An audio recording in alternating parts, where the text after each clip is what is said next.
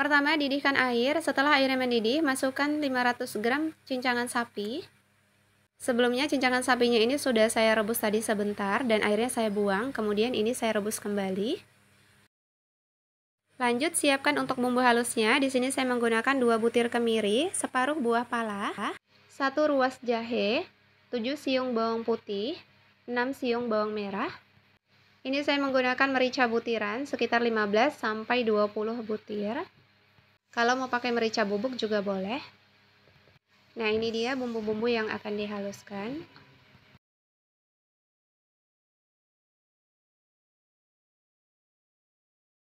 Kemudian panaskan secukupnya minyak di atas wajan, lalu tumis bumbu sampai harum dan matang.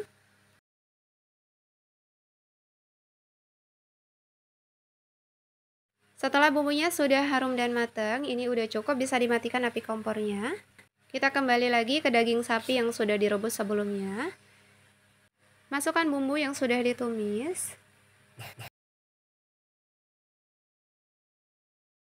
Aduk-aduk supaya tercampur merata. Setelah tercampur merata, lalu masukkan 2 batang kayu manis, 2 buah bunga lawang, 2 buah kapulaga, dan 5 buah cengkeh. Kalau cincangannya sudah mulai empuk, kemudian masukkan dua buah wortel ukuran sedang. Ini sebelumnya wortelnya sudah saya potong-potong dan dicuci bersih.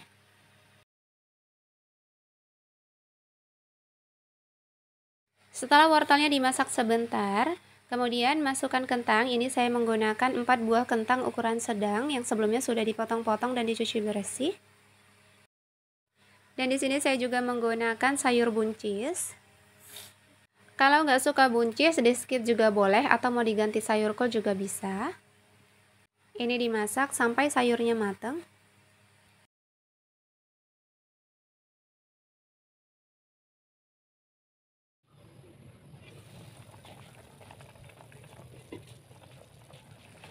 Lalu masukkan garam, gula pasir, dan kaldu jamur. Bisa disesuaikan dengan selera masing-masing ya.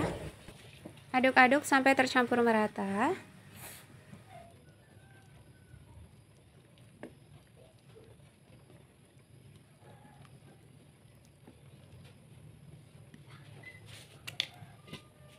Ini sayurnya sudah mulai matang, boleh dikoreksi dulu rasanya. Kalau ada yang kurang, boleh ditambah. Kalau rasanya udah pas, kemudian masukkan 2 batang daun bawang dan 2 batang daun seledri. Aduk sebentar. Setelah diaduk-aduk, ini udah cukup, bisa dimatikan api kompornya dan siap untuk diangkat. Nah ini dia sop cincang sapinya, siap untuk disajikan. Terakhir tambahkan bawang goreng.